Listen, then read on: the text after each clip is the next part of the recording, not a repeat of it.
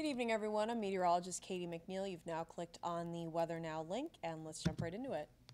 Taking a look at the temperatures here, haven't really changed all that much due to the cloud cover and fog over the area, especially down at the coast right now, seeing some considerable fog, denser fog than what we're seeing inland right now. We're at 48 still in Westerly, a little bit on the warmer end, 42 in Providence right around 40 in Taunton.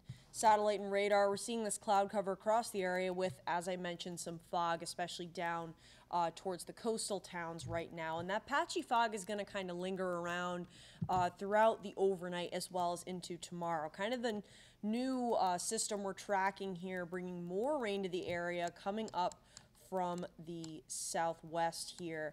And this is going to continue to work through the area overnight tonight into Sunday morning. So, kind of after 3 o'clock in the morning here, starting to see that chance for showers increasing and then becoming steadier throughout the morning and afternoon hours as well. Kind of see the second round of heavier showers here, these yellows and oranges uh, in the late afternoon, early evening, but by around 7, 8 o'clock, showers are going to start to diminish. Could see some lingering scattered showers overnight, Sunday night into Monday morning, but overall looking a lot drier for your Monday, although there is a slight chance for a spot shower in the afternoon on Monday as well, but overall conditions improving significantly for your Monday. Forecast for tonight here overnight lows in the low 40s. Going to be chilly out there, mostly cloudy with that patchy fog and showers starting late, kind of around 3 or 4 in the morning. For your Sunday morning here, looking at temperatures.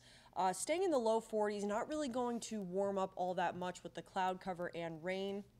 And as I mentioned, that rain is going to kind of stick around throughout the entirety of the day here with some heavier showers at times late morning and during the afternoon here. And again, those highs not really going to get much higher than around 44, 45 degrees with all the clouds and rain that we're seeing. And as we head towards the late evening hours, showers are still possible, but expected to become more kind of light and scattered as we head towards Sunday night with drier conditions for Monday. And as always, you can get your full forecast anytime at WPRI.com.